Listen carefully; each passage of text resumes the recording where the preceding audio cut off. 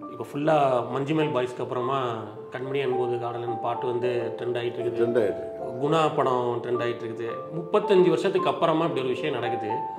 உங்களுக்கு ஃபஸ்ட்டு கோவமா இல்லையா சார் அப்போ யாருமே வந்து பெருசாக அதை பற்றி பேச எதுக்கு கோவம் பண்ணணும் இது சக சினிமா சகஜங்க ஒன்று படம் சக்ஸஸ் ஆகும் ஒரு படம் ஃபெயிலியர் ஆகும். இது வந்து என்னோட படம் ஒன்று ஃபெயிலியர் படம் இல்லை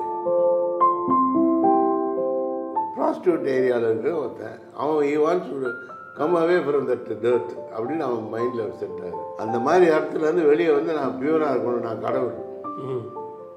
அதான் ஓப்பனிங்கில் அவர் இப்போ நிற்பார் சிவனுக்கும் பார்வதிக்குமான ஒரு லவ் ஸ்டோரின்ட்டு நிறைய இன்டர்பிரிட்டேஷன்லாம் இருக்கு. சாங்லேயே இருக்கே. பார்த்தொழி பார்த்தொழி அந்த சாங் எண்டில் வந்து லிங்கம் வரும். கார் வந்து அபிராமி வந்து இடிப்பாங்க குணா மேலே அடிச்சு. அது யார் யார் நிச்சயமா பண்ணா? கமலாசன் சார் பண்ணு? இந்த பக்கம் பெட்டு எதுவுமே இல்லை தலையில் இது பண்ணுவார் வ- பல ஸ்டன்ஸுக்கு மலை மலையிலேருந்து கீழே குதிக்கிறது உருள்றது இது எல்லாமே சார் தானே குணா படம் எடுத்ததுக்கு அப்புறமா எல்லாரும் பார்த்துருப்பீங்க. உங்களுக்கு வந்து ஃபர்ஸ்ட் அப்ரிசியேஷன் இல்லை மறக்க முடியாத அப்ரிசியேஷன் பாலச்சந்தர் சார் லெட்டர் வச்சிருக்கீங்க வச்சிருப்பீங்களா ஒன்றும் என்ன சொல்லியிருந்தாரு அவர்? இல்லை ரொம்ப மஞ்சுமேல் பாய்ஸ் பார்த்து பார்த்துருப்பீங்க நீங்கள். மஞ்சுமேல் பாய்ஸில் உங்களுக்கு ரொம்ப பிடிச்ச விஷயம்னு சொன்னால் என்ன சொல்லுவீங்க அஸ் அ டேரக்டரா எனக்கு ரொம்ப பிடிச்ச விஷயம்னு பார்த்தா அந்த கேரளா ஆடியன்ஸ் வந்து ரொம்ப அட்வான்ஸு அவங்க எதையுமே பர்சனலாக எடுத்துக்கிறது இல்லை. இங்கே வந்து எல்லாமே பர்சனலாக எடுத்துக்கிறாங்க. ஜாதி மதங்கன்னு பர்சனலாக எடுத்துக்கிறாங்க. அதாவது ஒரு உங்களை எதாவது சொன்னா உங்களை சொன்னால் நாங்கள் எடுத்த மாட்டேன் என்ன நம்மளை பற்றி சொன்னா? அப்படி தான் கேட்குறேன் தமிழ்நாட்டின் நம்பர் ஒன் பிராண்டின் மொபைல் அசசரிஸ் ஹாப்பி போலா Visit India's first underwater tunnel aquarium at VGP Marine Kingdom, Chennai. M plus நேர்களுக்கு வணக்கம். இன்னைக்கு நம்மளோட ஆக்டர் மற்றும் டேரக்டர் சந்தான பாய் சார் அஞ்சுக்கிறார் வணக்கம் சார் வணக்கம். இப்போ ஃபுல்லாக மஞ்சுமேல் பாய்ஸ்க்கு அப்புறமா கண்மணி அன்போது காதலன் பாட்டு வந்து ட்ரெண்ட் ஆகிட்டு இருக்குது ட்ரெண்ட் ஆகிட்டு குணா படம் ட்ரெண்ட் ஆகிட்டு இருக்குது முப்பத்தஞ்சு வருஷத்துக்கு அப்புறமா இப்படி ஒரு விஷயம் நடக்குது. உங்களுக்கு ஃபஸ்ட்டு கோவமா இல்லையா சார் அப்போ யாருமே வந்து பெருசாக அதை பற்றி பேச எதுக்கு கோவம் பண்ணணும் இது சக சினிமா சகஜங்க ஒன்று படம் சக்ஸஸ் ஆகும் ஒரு படம் ஃபெயிலியர் ஆகும். இது வந்து என்னோட படம் ஒன்று ஃபெயிலியர் படம் இல்லையே. ம். பெரிய கமர்ஷியலாக பெரிய ஹிட்டாலே தவிர கிரிட்டிக்கலாக வந்து நல்ல படம்னு சொல்ல சொன்ன படம். ஸோ நல்ல படம் மறுபடியும் எதுக்காக நான் கோவம் பண்ண சொல்லுங்கள் அதனால் அந்த படத்தை வச்சு இன்னொருத்தர் வந்து அந்த இன்ஸ்பிரேஷன் இன்னொரு படம் பண்ணுறான்னா எனக்கு அது பெருமை தானே? ஃபஸ்ட்டு குணாங்கிற அந்த கேரக்டரைசேஷன் ஃபஸ்ட்டு என்னவா இருந்துச்சு சார் ஆனால் அது ஒரு ஆர்டிசம் உள்ளவரா? இல்லை நிறைய இன்ட்ரோடேஷன் இப்போ பேசுகிறாங்க அந்த கேரக்டரை பற்றி அந்த படத்தை பற்றியே உங்கள்கிட்ட தெரிஞ்சுக்கணும் ஆசைப்படுறோம். குணாங்கிற கேரக்டரைசேஷன் ஃபஸ்ட்டு என்னவா இருந்துச்சு? நீங்கள் அதை எப்படி கன்சீவ் பண்ணீங்க?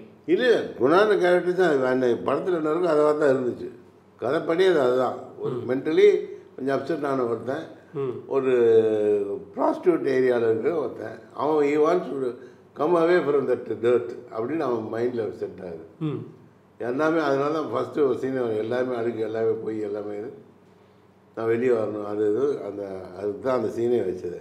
அவனோட மென்டல் என்ன அப்படிங்கிறது தான். ஸோ அதுதான் அந்த கேரக்டரு அவன் வந்து அந்த அந்த மாதிரி இடத்துல இருந்து வெளியே வந்து நான் பியூராக இருக்கணும் நான் கடவுள். ம். அதான் ஓப்பனிங்கில் அவர் இப்போ நிற்பார் பார்த்தீங்களா ஸோ அந்த கடவுளுக்கு ஏற்ற யார்? அப்படின்னா ஒரு பொண்ணு வருவா. அப்படின்னு அனந்தன் ஒரு கேரக்டர் வந்து அவர் இன்ட்ரடியூஸ் பண்ணுது. அதான் படம் அவ்வளோதான் ஓகே இல்லை நிறையா இன்டர்பிரேஷன் வருதுன்னு சொன்னேன். கமலோட லுக்கே வந்து இந்த படத்தில் வேறையாக இருக்கும்? அவர் வந்து இந்த படத்துலேயே ஒரு டைலாக் வரும். என்னோட அப்பா வந்து என்னோட மூஞ்சியை ஒட்ட வச்சுட்டு போயிட்டான் அப்படின்ட்டு. ஸோ அந்த அந்த ஒரு விஷயத்துக்காக தான் அந்த லுக்கில் அந்த புருவம் ஒன்றா சேர்ந்தது அந்த மாதிரி இருக்கலாம். முன்னாடியே கமல்ஹாசன் சார் அவர்கள் வந்து டிசைட் பண்ணிட்டார் லுக் இந்த மாதிரி இருக்கணும் அப்படின்னு. இப்படி இருக்குன்னு டிசைட் பண்ணுறது தான் இந்த மாதிரி இருக்கணும். ஏன்னா எல்லா படத்துலையும் ஒரே மாதிரி இருக்கக்கூடாதுன்னு அவர் எப்பயுமே இது பண்ணுவார். ஸோ இதில் கொஞ்சம் வித்தியாசமாக இருக்கணுங்கிறது தான் அதெல்லாம். அந்த தான் கருப்பு மேக்கப்பு எல்லாமே. ப்ளஸ் அந்த அந்த அப்பா மூஞ்சி ஒட்டு போயிட்டாங்கிறதெல்லாம் இருக்குல்ல. ஏன்னா இல்லை வெறும் கமலஹாசன் மூஞ்சியை பார்த்தா கமலஹாசன் மூஞ்சியாக தானே தெரியும். ம். இந்த நீங்கள் முன்னாடி சொன்ன மாதிரி அவரை ஒரு கடவுளாக நினச்ச ஒரு கேரக்டர்னு சொன்னீங்க. நிறைய பேர் வந்து இது சிவனுக்கும் பார்வதிக்குமான ஒரு லவ் ஸ்டோரின்ட்டு நிறைய இன்டர்பிரிட்டேஷன்லாம் இருக்கு. சாங்லேயே இருக்கே. பார்த்தொழி பார்த்தொழி அந்த சாங் எண்டில் வந்து லிங்கம் வரும். ம்.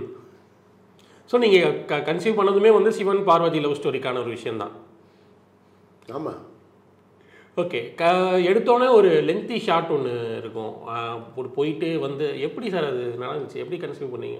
எஸ்சி கம்பெனி அப்படி எடுக்கணும்னு நினச்சி எடுத்தோம் அவ்வளோதான் ஏன்னா அப்போ இது பெரிய எக்யூப்மெண்ட்ஸ் தான் கிடையாது. வச்சு தான் எடுத்தோம். அதுக்கான பிளான் பண்ணி ஒரு நாள் பூரா ரெண்டு ஷாட் அந்த மாதிரி வரும் படத்திலே. ம். ஒன்று வந்து அந்த ஃபர்ஸ்ட் ஓப்பனிங் ஷாட்டு இன்னொன்று வந்து அந்த சாங்கில் உன்னை நான். அந்த சாங்கில் வந்து அதே மாதிரி ஒரு வரும் இது ரெண்டையுமே வந்து ஒரு நாள் பூரா அவர் லைட் பண்ணி பிளான் பண்ணி ரிஹர்சல் பண்ணோம். ஓகே ரிஹர்சல் எத்தனை ரிஹர்சல் பண்ணியிருப்பீங்க ஒரு ஒரு நாள் பூரா பண்ணோம். காலையில் அது மதியானம் அது மாதிரி ஒரு நாள் பூரா ரிஹர்சல் பண்ணோம். அப்புறம் மறுநாள் அதுக்கப்புறம் தான் ஷூட்டிங் போனோம். படத்தில் டைலாக்ஸுமே வந்து ரொம்ப முக்கியமான டைலாக்ஸ் பாலகுமாரன். பாலகுமாரன் சார். பாலகுமாரன் சாரோட டைலாக்ஸ் வந்து அவர் அவர் இந்த கதைக்கு எந்த அளவுக்கு ஹெல்ப் பண்ணுதுன்னு நினைக்கிறீங்க? ரொம்ப அவரோட. ஹெல்ப் ரொம்ப நல்ல ஹெல்ப் ஏன்னா அவரோட டேரக்ஷன் ரொம்ப பளி பளிச்சுன்னு இருக்கும். ரொம்ப நல்லா எழுதியிருந்தார். நம்ம அந்த கேரக்டர் என்ன பேசணும் அதை எழுதியிருந்தார். வள வளன்னு இது இல்லாமல் ரொம்ப சிம்பிள் அண்ட் ஷார்ட்டாக ரொம்ப நல்லா எழுதியிருந்தார். இல்லை முக்கியமாக அந்த கான்வர்சேஷன் வந்து அந்த டாக்டருக்கும் இவருக்குமான கான்வர்சேஷன்லாம் டைலாக் வரும். அவர் ஒரு ஊசி ஒன்று போடுவார். அந்த பெண்தலம் அந்த ஊசியை வச்சு இது ஒன்று பேசிகிட்டு இருக்கோம். ஆனால் அப்போதைக்கு அவருக்கு அது ஹையாக இருக்கும். ஸோ இந்த மாதிரி டைலாக்ஸ்லாம் உங்களோட கொலாபரேஷன்லாம் நடந்திருக்கு அதில்? இல்லை இல்லை. எல்லாம் நான் சொன்னேன் ஒரு ஸ்கிரிப்ட் வச்சுருந்தேன் அந்த ஸ்கிரிப்ட் வச்சுட்டு each and every scene discuss பண்ணி தான் எழுதணும். ம். பாலகுமாரன் ஒரு சீன் எழுதிட்டு வந்து படித்து காமிப்பார். அது என்னென்ன கரெக்ஷன் பண்ணால் நானும் கமலஹாசனும் சேர்த்து பேசி பேசி பேசி அதை கரெக்ட் பண்ணோம் இல்லை நல்லா இருந்ததுன்னா சரி அடுத்த சீன் இப்போ டெய் ஒவ்வொரு சீன் டெய் எல்லா சீனையுமே அப்படி பேசி கரெக்ட் பண்ணி எடுத்தது தான் ஸோ அதில் வந்து முதல்ல டிசைட் எடுத்து இந்த மாதிரி அவன் வந்து ரொம்ப சுற்றி பேசுகிறான் ம். அப்படி ஆல்ரெடி ஸ்கிரிப்ட்லேயே டிசைட் ம். புரியுதுங்களா? ஸோ இந்த பெண்டத்தாள் விஷயம்லாம் வந்து ஒரு டாக்டர்கிட்ட கன்சல்ட் பண்ணி தான் எழுதினது. Okay okay. அப்படி ஒரு ஊசி இருக்குது அது எந்த மாதிரி ஃபீல் கொடுக்கும் எல்லாத்தையும் கன்சல்ட் பண்ணி எழுதுனது. குணா அபிராமிக்குமான லவ் ஸ்டோரி பற்றி நிறைய பேர் பேசுகிறாங்க குணாக்கும் ரோஷிக்கும் ஒரு ரிலேஷன்ஷிப் ஒன்று இருக்கும். அதை நீங்கள் எப்படி எழுதியிருந்தீங்க? இல்லை அது இந்த மாதிரி அந்த அந்த மாதிரி ஒரு ஒரு மட்டமான ஒரு ஏரியாவிலேருந்து ஒரு நல்ல பொண்ணு அவன் ம். ஏதோ ஒரு விதத்தில் அவன் அந்த இதில் இருக்கா. இவ இவன் மேலே அவனுக்கு தனிப்பட்ட பிரியம் உண்டு. ம். இவன் ஒரு மென்டலாக இருக்கான் அப்படிங்கிறதுனால அவன் மேலே ஒரு பரிதாபமும் தனிப்பட்ட பிரியமும் உண்டு. அதுதான் அந்த கதை. புரியுதுங்களா? அதனால் அவன் கடைசியில் கூட அவ- அவன் போய் கேட்பான் நீ வந்துரு வந்திருக்கணா துப்பாக்கியால் ஆனாக்குனாங்க ம். ஏன்னா அவன் மேலே அவனுக்கு ரொம்ப பிரியம் உண்டு. அதனால அவனே அந்த பாட்டே வரும்.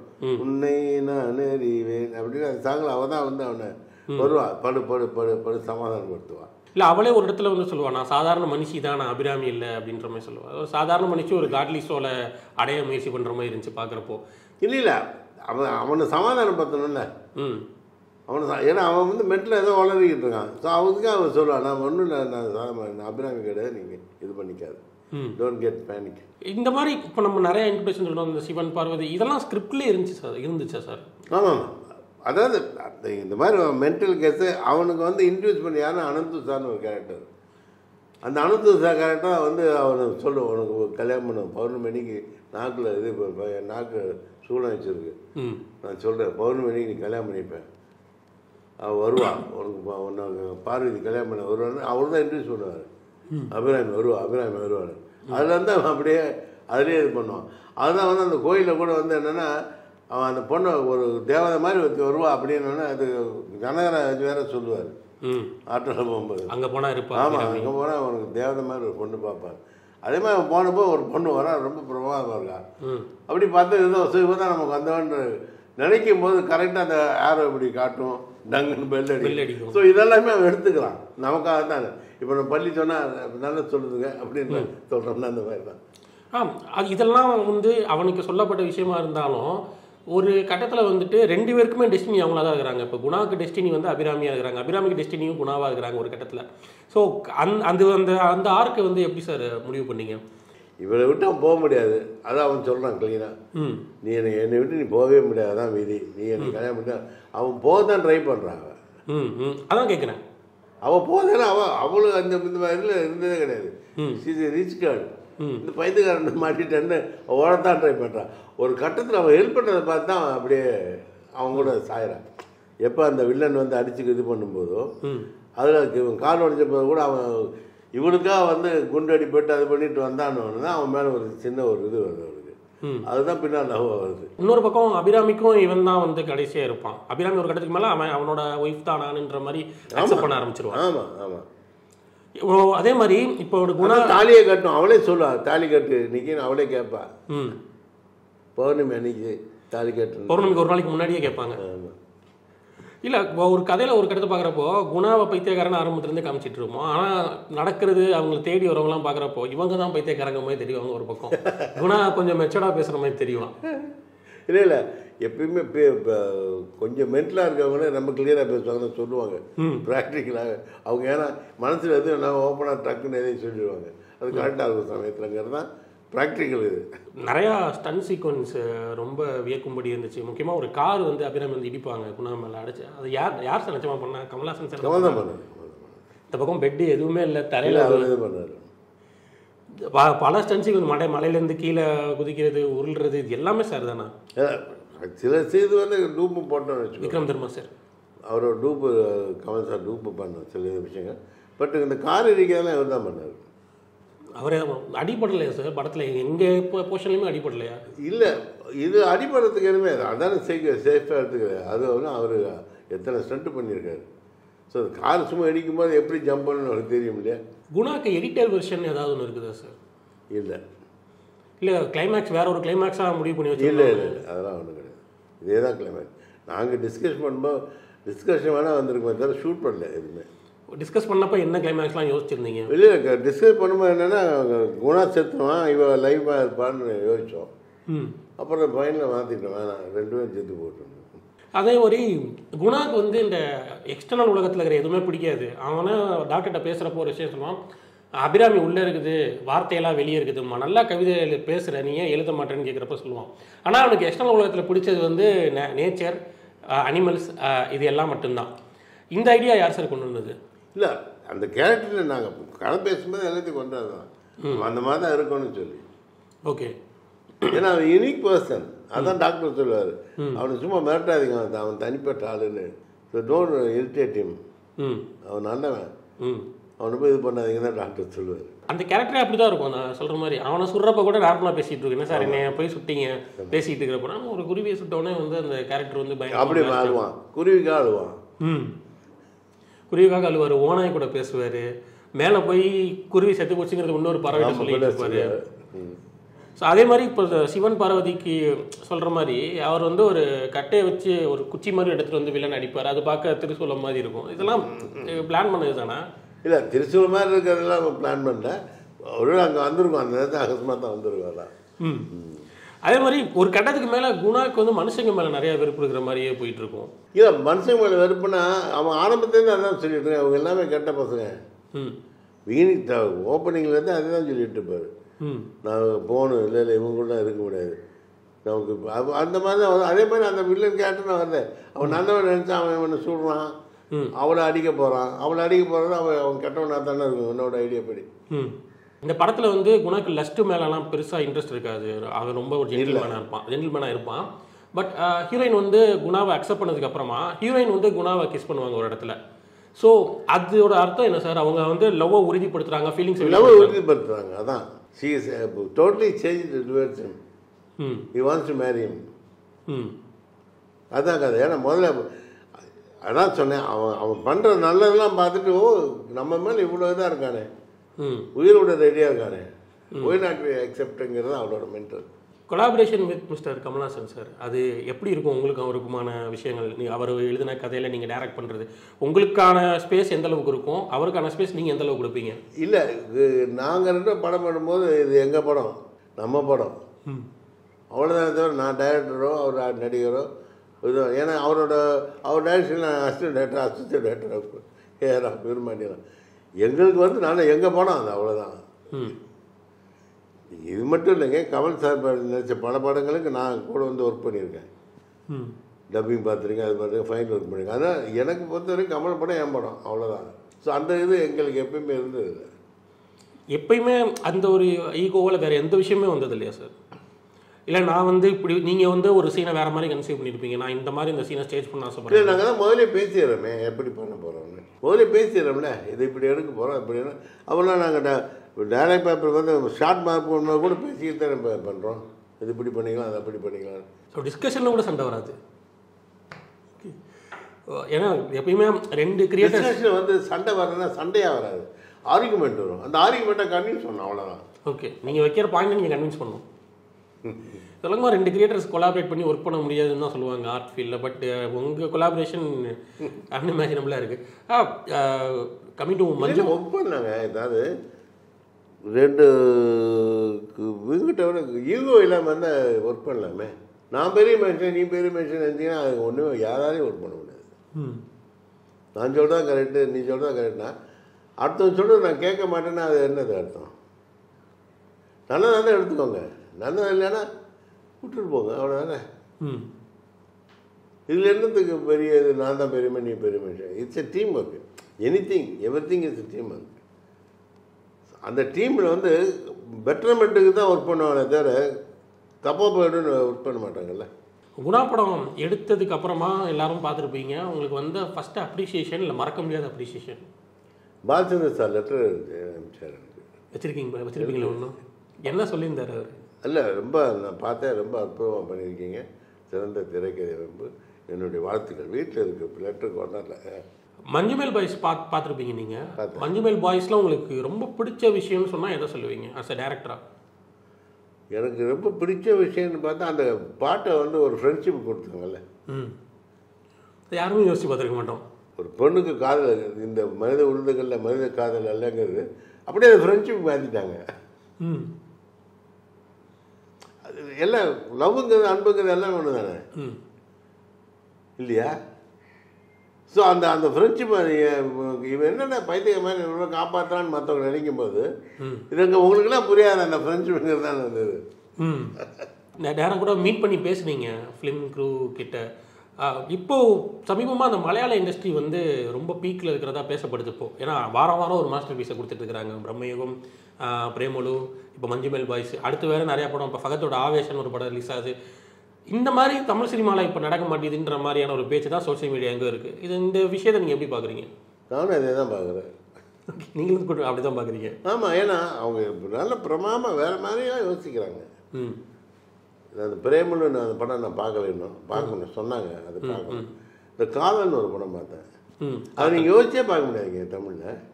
மம்முட்டி மாதிரி ஒரு பெரிய ஸ்டார் ஆ. மம்மிட் பண்ண சாதாரண ஒரு ஹீரோவை ஒத்துக்க மாட்டாங்க ஒரு தன்பால் ஈர்ப்புள்ள ஒரு ஆளுன்னு எப்படி அதை ஒத்துப்பீங்க? அது எவ்வளோ கஷ்டம் தெரியுங்களா அது? அது இங்கே அந்த அந்த கதையை எனக்கு ரொம்ப பிடிச்ச லவ்வில் அந்த கதையில் ரெண்டு பேரும் ஹஸ்பண்ட் ஒய்ஃபு இருபது வருஷம் ஹஸ்பண்ட் ஒய்ஃபாக இருக்கிறாங்க. ஒரு பெரிய குழந்தை வேறு இருக்குது பட் இந்த நேரத்தில் அவன் டைவர்ஸ் கொடுக்குறா. கேட்குறா என்ன டைவர்ஸுக்கு ரீசன்னா இது இந்த மாதிரி அவர் வந்து இது இது தன்பால் இருப்பாள் அதனால கேட்குறேன்னு அதுக்கு யார் சாட்சி? யாருமே இல்லை. அவங்க அப்பா வந்து சாட்சி சொல்கிறார் கடைசியில். நான் தான் சாட்சிங்க. எப்போ உங்களுக்கு தெரியும்? என் பையன் சின்ன வயசில் இருக்கும்போது தெரியும். அப்புறம் கல்யாணம் பண்ணி வச்சுங்க. இல்லை மாறுவான்னு நினச்சேன். அதனால் பண்ணி வச்சேன். அதுக்கப்புறம் வீட்டுக்கு வந்தோடனே அது வரைக்கும் பேசாத பையன் கேட்பான் எப்பா நான் மாறுவேன்னு சொல்லி கல்யாணம் பண்ணி வச்சேன். இப்போ தான் மாறிச்சாப்பா? பியூட்டிஃபுல் சீன்ஸுங்க அதெல்லாம். அதே மாதிரி அந்த கேஸு வின் பண்ணி ஜோதிகா வீட்டுக்கு வந்து நைட்டில் பேசும்போது கூட சொல்லுவாள் என்னை மன்னிச்சுக்கோங்க நான் இது வந்து எனக்காக மட்டும் பண்ணலை. உனக்காக பண்ணேன். உன் லைஃப்க்காக பண்ணேன். ஏன்னா நீ எப்போ உன்னோட லைஃப்பை வாழ போகிற உன்னோட ஆசையெல்லாம் அடக்கிட்டு என்ன என்ன ஒரு ப்ராடு இது பாருங்க அது. ப்ளஸ் அந்த படத்தில் வந்து அந்த சொசைட்டி ஒத்துக்குதுங்க இதை. ஏன்னா அவன் எலெக்ஷன் நீங்கிறான் எலெக்ஷன் வின் பண்ணிடுறான் அப்போ ஆப்போசிட் டீம் வந்து அவன் அந்த மாதிரி இந்த மாதிரி அவனோட பற்றியெல்லாம் இது கொடுக்குறான் அப்போ அவனை வந்து சொன்னான்? எனக்கு அவன் நான் தான் மனுஷன். அவன் வரணும். அவனோட பர்சனல் இது எங்களுக்கு தேவையில்லைன்ற மாதிரி. ஆனால் இந்த மாதிரி படங்கள் வந்து இப்போ பிரம்மயுகம் வருது. பிரம்மயுகம் வந்து கிரிட்டிக்கலி அக்ளைம்டு மூவின்னாங்க இப்போ குணா மாதிரியே ஆனால் க பிரம்மயுகம் படத்தை மக்களும் பார்த்து அது கமர்ஷியலி சக்ஸஸ் ஆகுது. பயங்கர சக்ஸஸ் ஆகுது. இப்போ மஞ்சுமேல் பாய்ஸ் வந்து பத்து கோடிக்கு எடுத்த படம் நூறு கோடி போக போகுதுன்னு சொல்கிறாங்க ஸோ இந்த மாதிரி ஏன் சார் தமிழ் சினிமா நடக்க மாட்டேங்குது? ரைட்டர்ஸ் கொஞ்சமா இல்லை என்ன பிரச்சனை? இல்லை இங்கேயும் படங்கள் இருக்குது ஏதாவது ரேராக இருக்குது அதான்.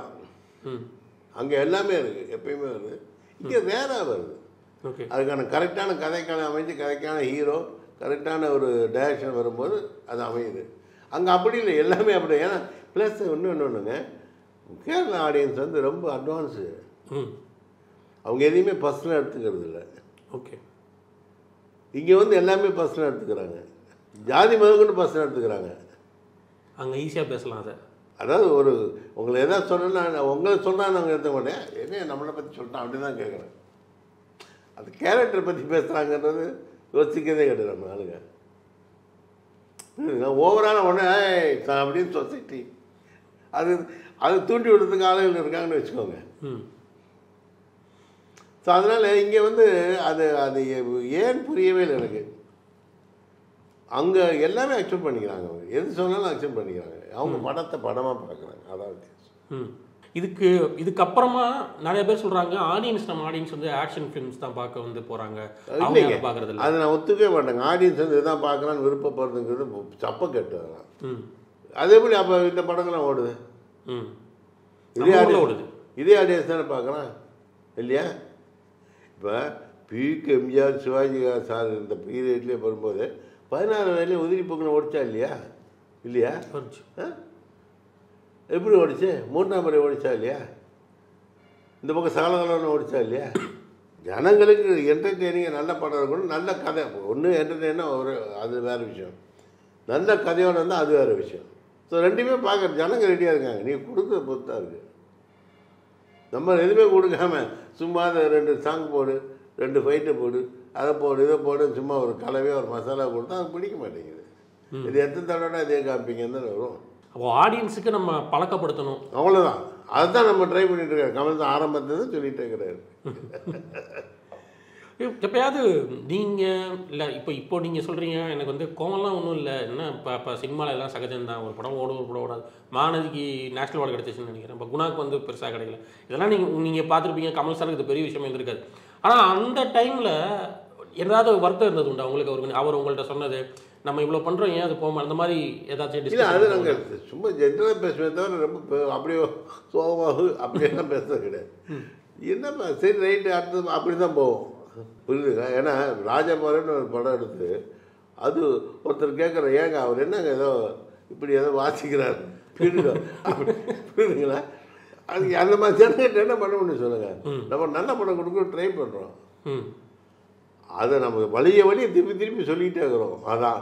அது புரியல புரியல புரியல என்ன பண்ண முடியும் சொல்லுங்கள் ஏன்னா ஆரம்பத்துலேருந்தே எந்த ஏதாவது வித்தியாசமாக பண்ணுங்கிறது அவரோட ஐடியாவும் நான் படம் பண்ணும்போது என்னோட ஆரம்பத்துலேருந்து என்னோட பிகினிங்லேருந்து எதாவது பண்ண நல்ல படமாக நல்ல கதையாக வித்தியாசமான படமாக பண்ணணும் அப்படிங்கிறது அதான் என்னோட பன்னீர் புஷ்பம் ஆரம்பம்.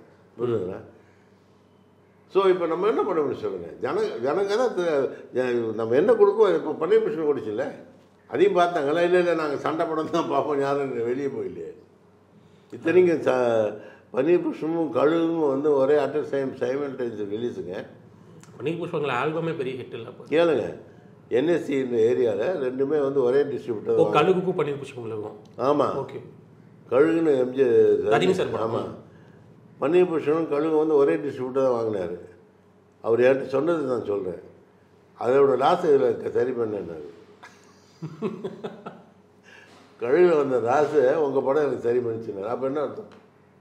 மக்கள் எல்லாத்துக்கும் ரெடியாக தான் இருக்கிறாங்க. ஆமாம் கண்டென்ட் ஒழுங்காக இருந்தால் பார்க்க போகிறாங்க நிறைய விஷயங்களோட பகிர்ந்துட்டீங்க நேரத்துக்கு மிக்க நன்றி சார் ரொம்ப நன்றி. தேங்க்யூ தமிழ்நாட்டின் நம்பர் ஒன் பிராண்டின் மொபைல் அசசரிஸ் ஹாப்பி போலா Visit India's first underwater tunnel aquarium at VGP Marine Kingdom, Chennai.